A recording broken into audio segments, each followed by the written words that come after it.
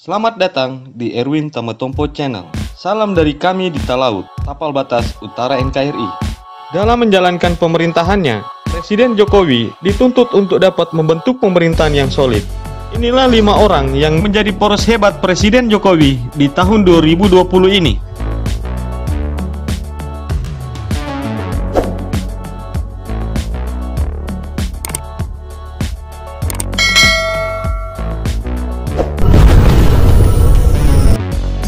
Jenderal Purnawirawan Muldoko Jenderal Purnawirawan Muldoko adalah kepingan hilang Jokowi saat demo 212 di Monas tahun 2017 lalu.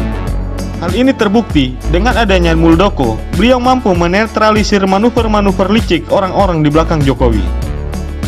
Di tahun-tahun ke depan, Jenderal Purnawirawan Muldoko adalah sosok cadangan strategis Jokowi di sampingnya.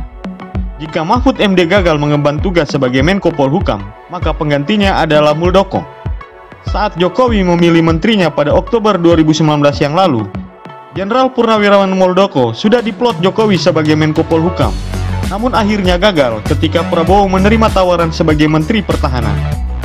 Alasannya, jika Muldoko menerima jabatan sebagai Menko Polhukam, maka Muldoko menjadi atasan Prabowo, dan itu pantang bagi Prabowo. Akhirnya, Jokowi memilih sosok Mahfud MD yang lebih diterima oleh Prabowo. Penempatan Jenderal Purnawirawan Muldoko untuk tetap di lingkar satu istana tentu juga sangat tepat. Muldoko dianggap bisa menjadi andalan jitu Jokowi saat menteri lain di reshuffle. Dia juga bisa menjadi bumpers untuk Mahfud MD, Prabowo, dan Edi Prabowo di kabinet Jokowi. Jenderal Purnawirawan Muldoko tentu saja akan di-backup oleh Jenderal Purnawirawan Wiranto sebagai Ketua Watimpres.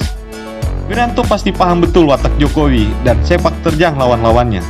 Itulah sebabnya Jenderal Purnawirawan Wiranto tak bisa disingkirkan begitu saja oleh Jokowi. Tito Karnavian Tito Karnavian adalah mantan Kapolri yang sukses mengemban tugasnya. Tito Karnavian merupakan pejabat yang lihai, cerdas, dan sangat ahli dalam membaca langkah-langkah musuh Jokowi. Keberadaan Tito Karnavian sebagai Mendagri jauh lebih kuat dibandingkan Cahyo Kumolo sebelumnya. Tito dihormati lawan maupun kawan. Tito adalah andalan super Jokowi di Polri dan sekarang menjadi andalan supernya di kabinet. Di kepolisian saat ini, pengaruh Tito Karnavian sangatlah kuat. Tito paham betul apa pun perkembangan di institusi Polri. Tentu saja, Jokowi tidak perlu khawatir jika ada sosok yang muncul sebagai pengkhianat di tubuh Polri. Tito Karnavian tentu akan cepat meresponnya. Hingga kini, Tito tanpa cacat di mata Jokowi. Jenderal Andika Perkasa Jenderal Andika Perkasa sekarang ini menjabat sebagai Kepala Staf Angkatan Darat dan kemungkinan ke depannya sangat memungkinkan bagi Andika untuk menjadi Panglima TNI menggantikan Marsikal TNI Hadi Cahyanto yang akan pensiun tahun 2020 ini. Peran Jenderal Andika ke depan sangatlah sentral, terutama ketika berhadapan dengan kaum separatis dan pihak-pihak lain yang terus merongrong NKRI. Basuki Cahaya Purnama atau Ahok. Berkat kesabaran luar biasa Jokowi, akhirnya ia kembali bertemu dengan sahabat lamanya dalam pemerintahan. Ahok menjadi andalan Jokowi ke depan. Untuk sementara, posisi Ahok sebagai komisaris Pertamina kemungkinan merupakan pintu masuk menjadi menteri. Jika Ahok benar-benar menjadi menteri, apalagi menteri BUMN, ia akan mereformasi lebih dari 100 perusahaan BUMN. Mendengar nama Ahok saja, nyali para anggota DPR RI yang selama ini menjadikan BUMN sebagai sapi perah pasti langsung ciut. Ahok jelas sudah dikenal urat lehernya ketika berhadapan dengan anggota DPR.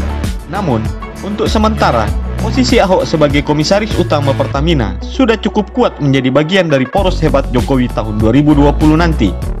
Sekarang ini, poros hebat Jokowi itu sebetulnya sudah diuji oleh tiga serangan yang semuanya gagal.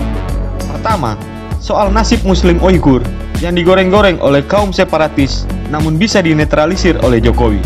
Yang kedua, masalah Jiwasraya yang dikaitkan dengan Pilpres 2019 namun dengan mudah juga dipatahkan karena jejak bau amis Jiwasraya sudah sejak masa pemerintahan sebelumnya. Dan yang ketiga, soal pro kontra undang-undang KPK yang baru yang akhirnya membuat Jokowi keluar sebagai pemenang. Jadi, poros hebat Jokowi di tahun 2020 ke depan adalah Jenderal Purnawirawan Muldoko di lingkar satu istana, Jenderal Tito Karnavian di Kementerian Dalam Negeri dan di lingkungan elit Polri, Jenderal Andika Perkasa yang menjadi poros di TNI, khususnya di Angkatan Darat, dan tentunya yang keempat, Basuki Cahaya Purnama atau Ahok yang akan menjaga Pertamina. Keempat mereka itu adalah kunci sukses pemerintahan Jokowi yang kedua. Terima kasih telah menonton channel ini. Jangan lupa like dan share. Tonton pula ulasan profil dan fakta tokoh-tokoh politik dan pejabat negara lainnya. Jangan lupa subscribe dan tinggalkan tanggapanmu di kolom komentar. Sampai jumpa di video-video kami selanjutnya.